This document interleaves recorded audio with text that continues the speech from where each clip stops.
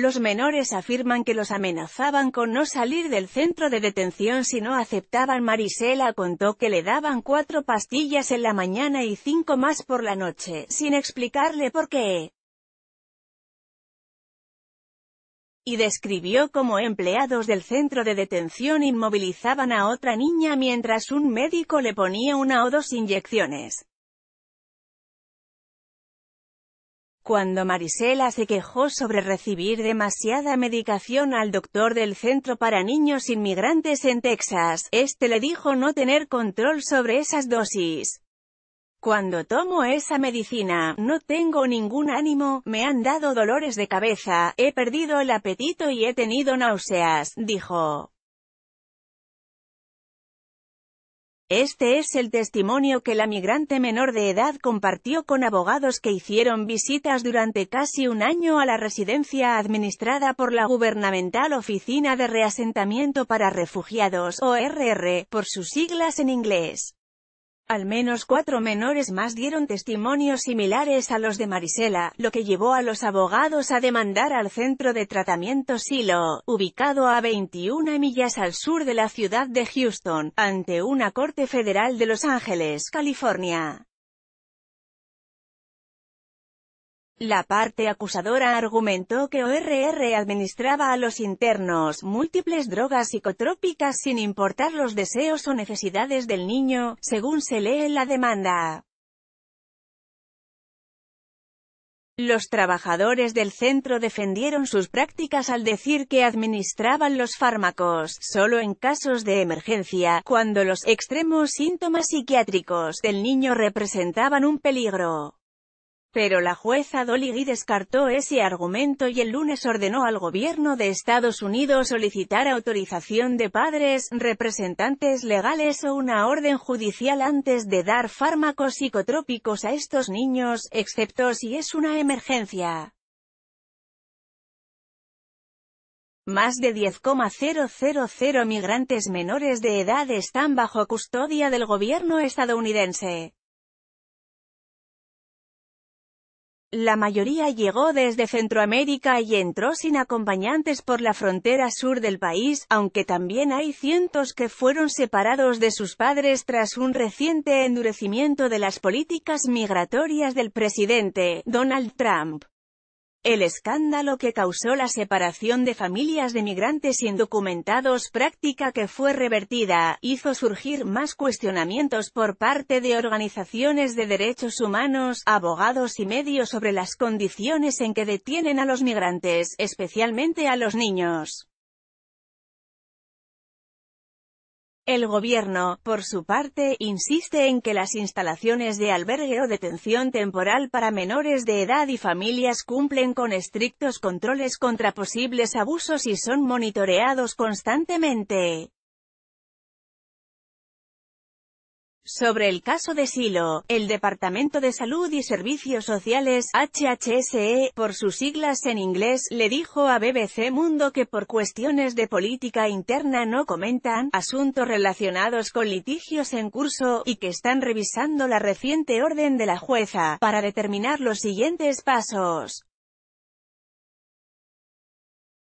Ansiedad y depresión rosa, cuya edad no está especificada en el documento judicial, cuenta que le daban cuatro o cinco pastillas al día y que creía que una de ellas era para tratar la ansiedad. A veces me ponían inyecciones a la fuerza. Uno o dos empleados me sujetaban de los brazos y la enfermera me ponía la inyección, describe. Entre las drogas registradas en su expediente médico, aparecen antipsicóticos como aripiprazol y clorpromacina, y antidepresivos como escitalopram El Centro Silo, o un conjunto de casas rodantes en una zona rural de Texas tiene capacidad para albergar las 24 horas a poco más de 40 niños, según estimaciones del Centro de Informes de Investigación, que ha reportado sobre el lugar en años anteriores.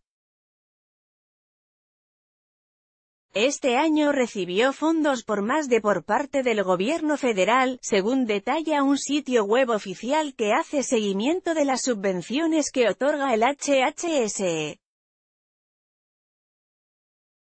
Silo está dotado para recibir a niños migrantes que representan un peligro para sí mismos o para otros, de acuerdo a la valoración de psicólogos y psiquiatras, según detalla el HHS.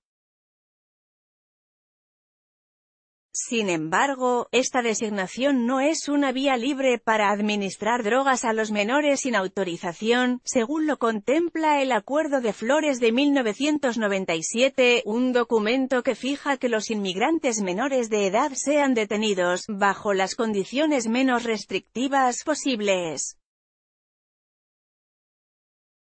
Me dijeron que si no me tomaba la medicina no me podía ir de ahí. La madre de una de las internas aparece en la demanda diciendo, nadie me pidió permiso para darle medicinas a mi hija, aun cuando los empleados de Silo siempre tuvieron mi teléfono y mi dirección. Otro niño llamado Julio detalló que lo amenazaron con lanzarlo al piso y obligarlo a tomarse las pastillas. Me dijeron que si no me tomaba la medicina no me podía ir de ahí, que la única forma de salir de Silo era tomándome las pastillas. El centro Silo recibió a niños separados de sus padres en la frontera sur, según dijeron abogados que demandaron a la instalación. Foto, EPA, el menor de edad detalla que, después de tomar los fármacos, estaba más cansado, me sentía triste y mis ojos estaban llorosos, empecé a engordar, en unos dos meses engordé 77 libras. BBC Mundo contactó al centro Silo por teléfono pero en un mensaje de operadora indica que sus oficinas están cerradas. En un comunicado en su sitio web, informa que ha sido sometido a auditorías y visitas por parte de autoridades estatales, la ORR y de representantes de consulados de Guatemala, El Salvador y México. Se encontró que todos los alegatos ampliamente difundidos sobre Silo carecían de fundamento. Se ha concluido que los niños están bien cuidados y tratados, dice el escrito. El fallo de la jueza Guy del lunes también incluye que todos los menores de edad inmigrantes arropados bajo el acuerdo de Flores sean transferidos del centro Silo, a menos que un psicólogo o psiquiatra con licencia determine que el menor de edad representa un peligro para sí mismo o los demás. Estaban letárgicos. Los testimonios de los niños surgieron a partir de unas entrevistas que condujeron abogados de varios centros de inmigración, con el fin de hacer cumplir el acuerdo de Flores sobre las debidas condiciones de detención. Neja Desai, abogada del National Center for Youth Law en California y representante de la demanda, le cuenta a BBC Mundo que la mayoría de los menores tenían entre 12 y 17 años, y hablaban en español. La letrada llegó a Silo a partir de una conversación que tuvo con un niño en otro centro de detención en mayo del año pasado. Él había estado detenido en Silo y compartió conmigo las experiencias que tuvo ahí. Me dijo que lo habían forzado a acostarse en el suelo para inyectarlo, dice. El gobierno de Estados Unidos instaló centros de detención temporales para niños migrantes en semanas recientes, como este en Tornillo, Texas. Foto, Getty y Machis, según Desai, varios de los menores de edad con los que conversó en Silo, estaban letárgicos. Al punto de que me pareció que tomaban algo que les hacía estar adormecidos. Ganar la confianza de los niños no fue fácil, detalla la abogada, algunos son huérfanos y ni siquiera tienen un abogado. No hablan de esto con nadie, teníamos que asegurarles que no éramos funcionarios y que protegeríamos sus identidades. Tras las entrevistas, los abogados pidieron a los niños que firmaran autorizaciones para pedir sus expedientes médicos al gobierno, ahí pudieron ver qué fármacos les recetaron. También notaron que funcionarios del centro firmaron documentos médicos en el apartado de padre o representante legal, sin serlo. La gran mayoría de los niños migrantes bajo detención del gobierno de EU vinieron de Centroamérica.